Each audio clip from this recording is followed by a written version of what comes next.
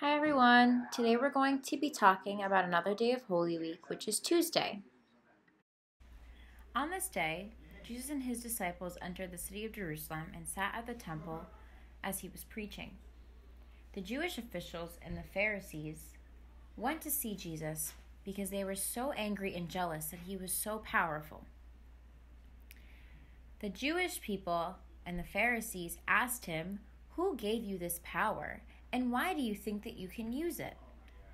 And Jesus answered and said to them, Where do you think the power of John the Baptist comes from? Is he just a human, or does his power come from heaven?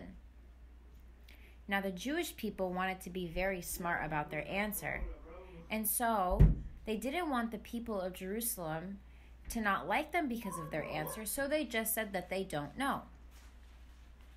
And so Jesus told them and said, Then I will not tell you where my power comes from. He then gave the people and the Pharisees an example, and he spoke about the parable of the two sons. The parable of the two sons is a story that talks about how a father asked his one son if he can go and help him with fruit in the garden. And his first son said, No, I will not. But then, later that day, the son worked very, very hard in the fruit garden to please his father.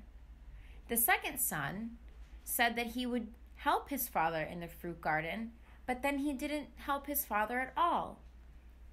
This story is supposed to teach the people a lesson. Jesus used the story as an example to show that even though the Jewish people said that they don't believe in the Lord, just like the son said he wouldn't believe his father, there is still a chance for them to accept the way of righteousness of the Lord, but they still decided not to. Later that afternoon, Jesus took his disciples and sat on the Mount of Olives to talk about how to be ready for the kingdom of heaven.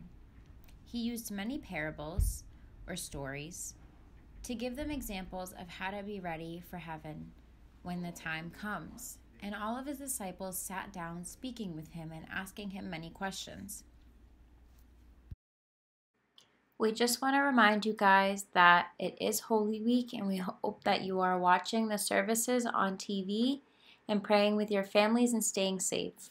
We hope to celebrate a wonderful Easter with you guys. We miss you very much. Bye.